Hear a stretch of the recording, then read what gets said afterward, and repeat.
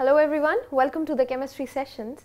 So in the last session we were actually discussing about how carbon is so versatile and we had taken one step ahead to understand how the different bonding occurs in the covalent compounds, okay, not just of the carbon because carbons we are going to start today. So in the previous session we discussed about how usual covalent bonding takes place in the inorganic, especially we had taken some inorganic species. So actually I was discussing about the Lewis dot structures if you uh, remember Lewis dot structures.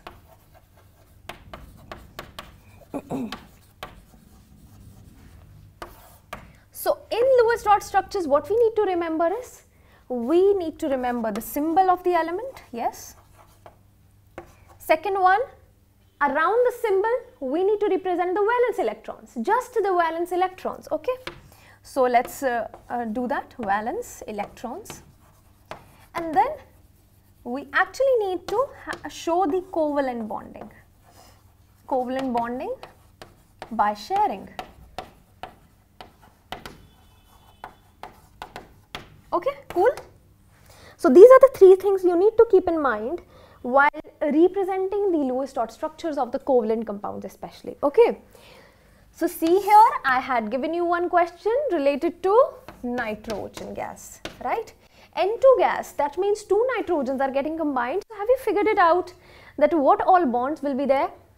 So basically as I told you that there are two kinds of bonds. One is the sigma, another is pi which is an inclusive of a covalent bond which is enclosed in a formation of a covalent bond. So basically see here in the case of nitrogen how many kinds of bonds are there? Let me just uh, write it over here. One is used to be sigma another is used to be pi. Cool? Sigma and pi. So I, as i told you that two atoms uh, uh, sorry two electrons combine to form one single line. That is one covalent bond. So four electrons will be two lines will be there one will be sigma and another will be pi. So always remember one has to be fixed. One is always sigma, the rest of them name them, uh, name them as pi. Okay. So see here nitrogen has got 2 and 5 total of 7 electrons is there and that is the electronic configuration. So 2 5 in the case of this particular nitrogen as well. 5 electrons are valence in each of the case. So that means 5 1, 2, 3, 4, 5. 1, 2, 3, 4, 5. Why? See here 5 means it needs 3 more. So gaining 3 will be a difficult task rather than sharing. So it can share 3 that means I have come to know that since it, needs 3 more from the another, uh, another nitrogen atom that means 3 it has to give it also right because equal sharing is there, equal donation is there. This is donating 3 and this is also donating 3 and that is what sharing is. It is equal, it is 50-50, right? So that is how I have completed my sharing right here and I have got three type of bonds. As I told you, one is always fixed, that means one is always and always sigma. The rest of them pi. So here there are two pi bonds. One is pi, another is pi. Yes, what kind of pi, what kind of sigma, no need to go into the detail because yes, you will be having a proper picturization, proper drawings of these in the next uh, next standard, 11th standard. Okay. So this is going to be nitrogen gas and it is triply bonded. So basically oxygen was having a double bond whereas nitrogen forms a triple bond. Can we talk about the chlorine gas? Chlorine gas that means Cl2.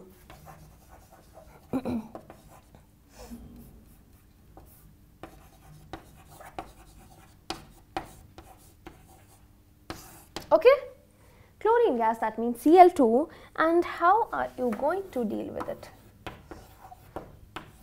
simply like this how I came up to this one bonding. So let us just try to justify that. Chlorine and another chlorine. What is the electronic configuration of chlorine? Chlorine, one atom is 17 electrons, that means 287. In the last one, it needs one more. And one can be easily taken from some other species. But here I am going to justify that how this particular bonding is taking place. Okay.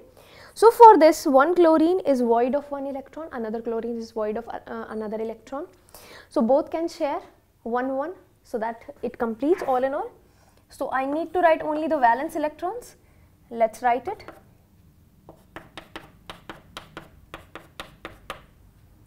Done 1, 2, 3, 4, 5, 6, 7. Complete and this is how it is going to share. Now let us take up not similar kind of atoms, let us try some different atoms combining together in HCl. HCl is an acid and it dissociates into ions, right? Whenever I try to dissolve this in water, it gets uh, dissociated or formed into ions H plus and Cl negative, right? So you must be wondering that this is uh, an ionic compound. No, it is not. So this is going to be very, very important. In fact, important from the perspective of 11th and 12th. This question certainly comes up that although it breaks into ions in the solution form, in the water form, whereas it is a covalent bond compound covalent compound it is. How? Let us see. Hydrogen is there, chlorine is there. So, chlorine valence electrons 7 there are. Okay, 7 I have done and hydrogen has got only 1, sharing can be done, right. So, this forms a covalent bond. Yes, it is a covalent bond.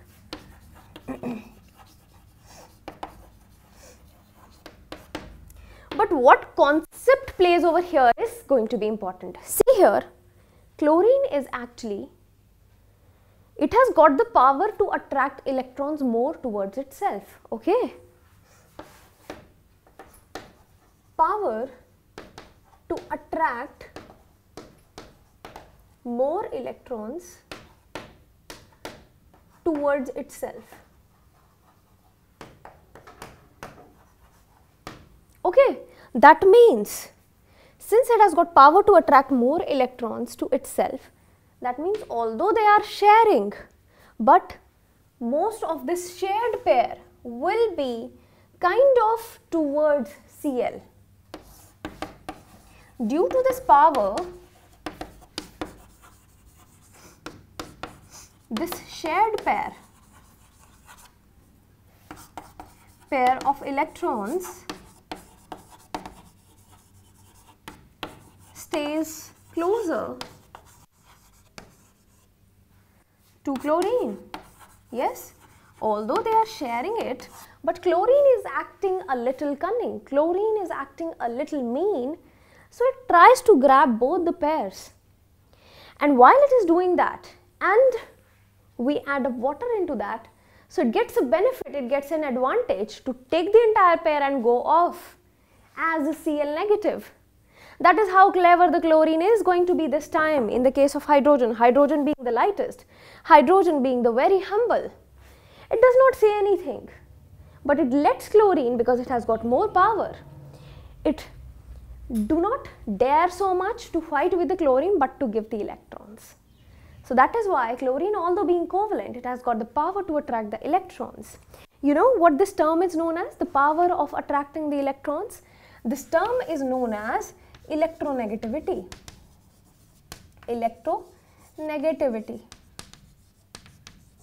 Okay, how this term has been put up, this formed. Electro stands for the electrons, negativity because it is creating more negativity. So, attracting the electrons through electro, electro over here can also symbolize the electrostatic forces of attraction. So, it is basically attracting more negativity, right? So, here I have broken down this term attraction of more negativity through taking up electrons and that is what the term is. I hope everybody has got it. So this was one another example. So I hope everybody has got how to actually deal with the Lewis dot structures. Now let us take up the Lewis dot structures in the case of bonding in the carbon compounds. Okay. So as I've told you there is one very important pro property of carbon which is known as the property of catenation.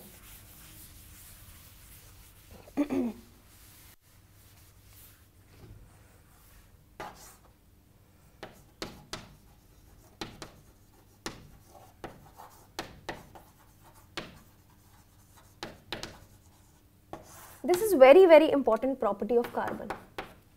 You know what carbon does? It self links. What? Self linkage. This is what catenation is. That means one carbon can combine. It has got the ability to combine with the another carbon and then with the another carbon and then with the another carbon to form big big chains, long long chains, maybe branches, maybe so big compounds that you cannot even imagine having millions of carbons in it.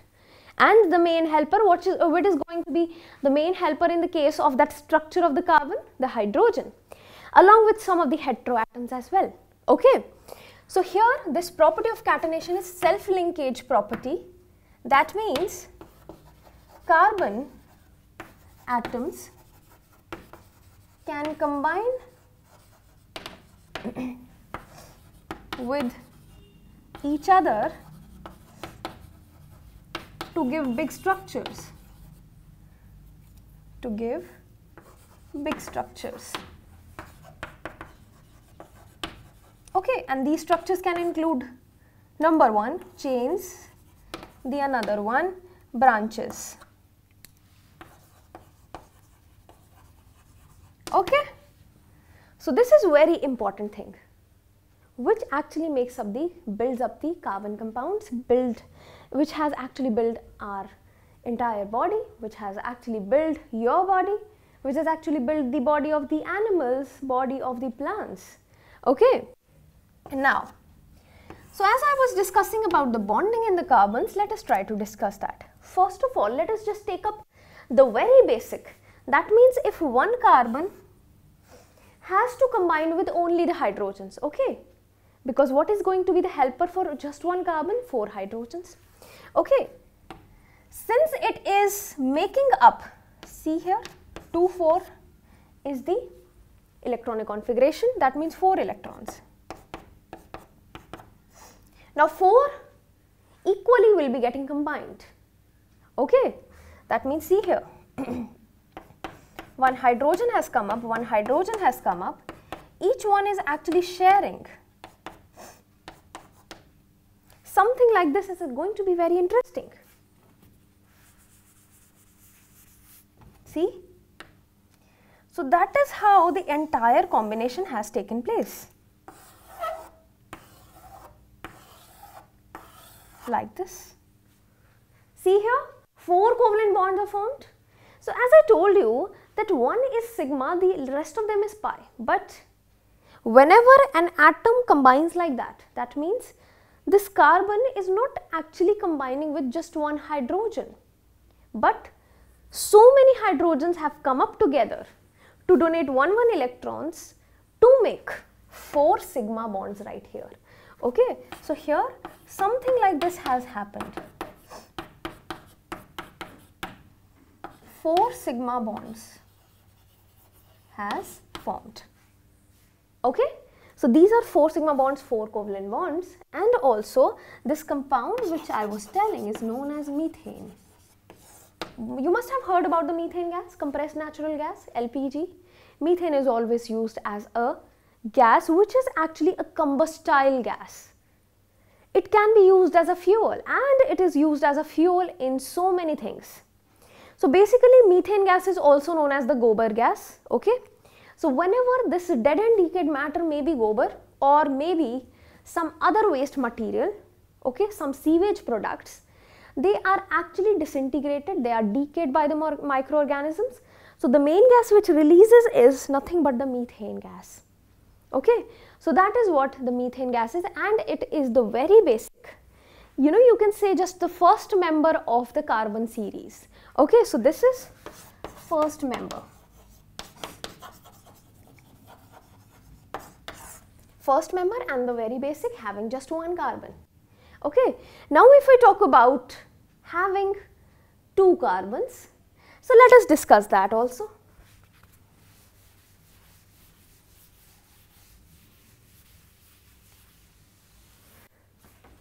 So see here, I am going to write is the homologous series now.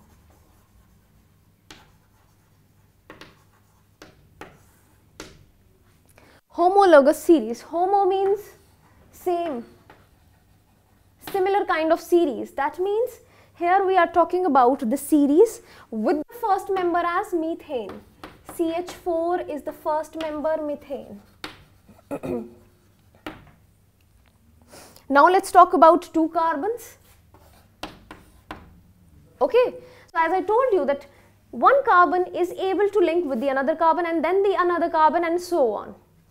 So the second member will be having two carbons. Okay, so simply I am just taking two carbons, but these two carbons are connected. This is the basic uh, skeleton. Okay, so from the skeleton, what do you observe? Is the valency of the skeleton complete or not? Can you tell me? See here, let us just check. Carbon, how many valence electrons? 4. 1 would have been here and 1 would have been here. Something like this, yes?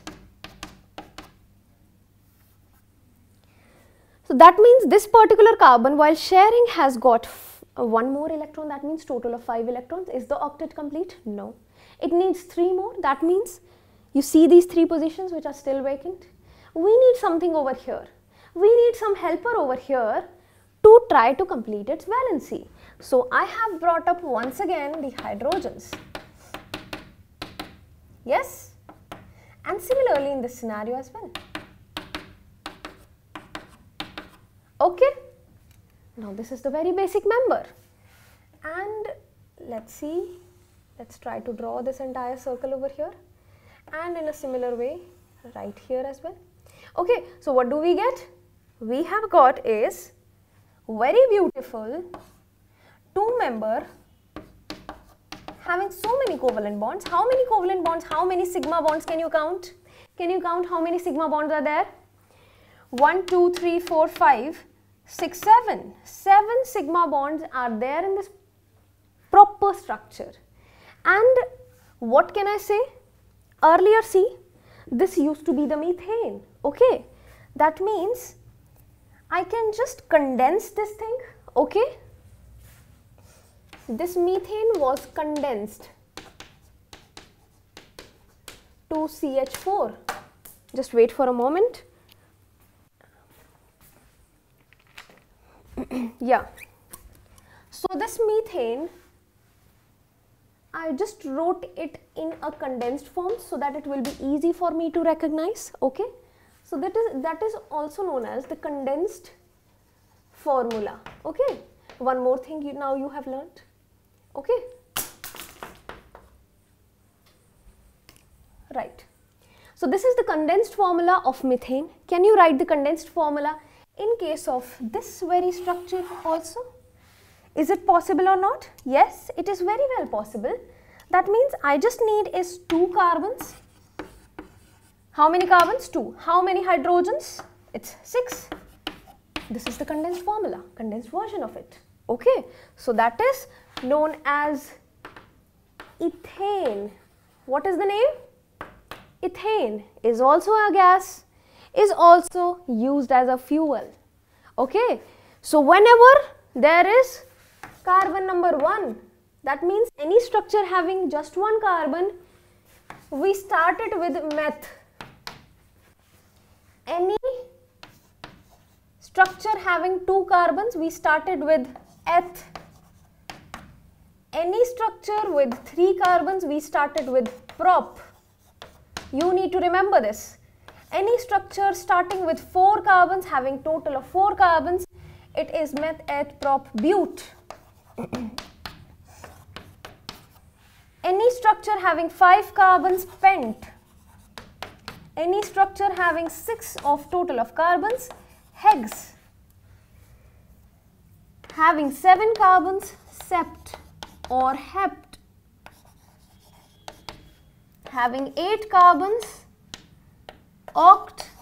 Having 9 carbons non. And having 10 carbons as dec.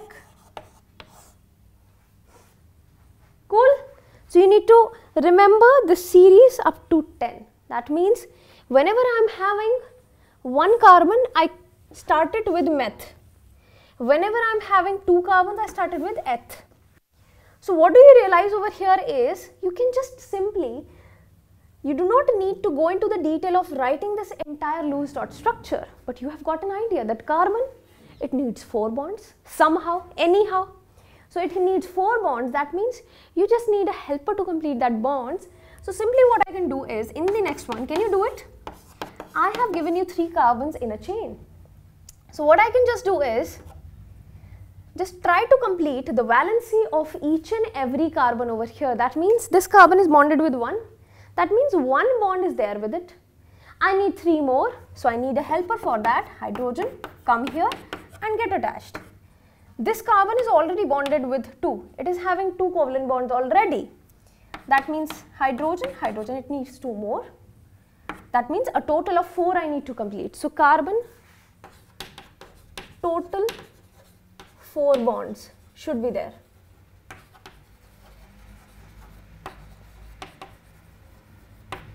Okay. Now this carbon needs three more. Done. C3 H how much? 6 6 8 total of 8 and this is 3 carbons prop starting with prop and ending with ane. Okay? Fine? Can you do that in case of butane? What will be the butane? Let's draw butane.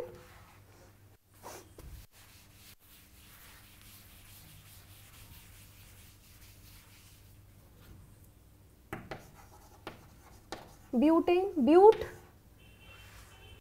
But means 4 carbons, it should be there. See here, 4 carbons I have drawn, rest of them complete with the valency, 3 hydrogens needed, 2 hydrogens needed, 2 hydrogens needed, 3 hydrogens needed. Can you write it in condensed form? Yes. C4, H how many? 6, 6, 8, 10. C4H10, right? Getting it? So and so and so you can write it for the decane as well. Dec, see here, dec stands for when number of carbons are 10. Okay, let's draw decane then. 1, 2, 3, 4, 5, 6, 7, 8, 9 and 10. 1, 2, 3, 4, 5, 6, 7, 8, 9, 10. So I was just rechecking let us complete the valencies. Are you able to do that?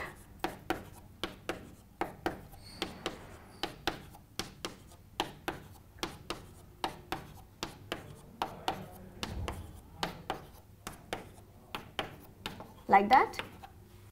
Done. Total of how many?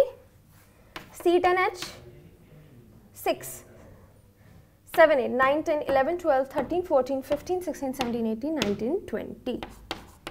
Got it? so how many I have got?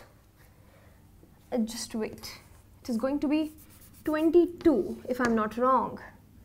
1, 2, 3, 4, 5, 6, 7, 8, 9, 10, 11, 12, 13, 14, 15, 16, 17, 18, 19, 20, 21, 22. Right? So that is what, how many we have got? H22. And this is known as decane. Okay? Now you must be wondering that why I am writing here ane every time ane. So basically it goes under the classification of carbon compounds. So the carbon compounds can be classified as saturated, and unsaturated compounds. Okay, you must have heard about the saturated fat, unsaturated fat. What is it? Try to find out. I'll be, you know, correlating it with the fat also, the oil. You must have heard about saturated ghee, unsaturated oil. Have you heard about it ever? If not, just try to find it out in your books, look up in your books, maybe Google it. I'll be discussing its answer and the original idea behind it that is the basic classification of the carbon compounds. Okay, have a nice day.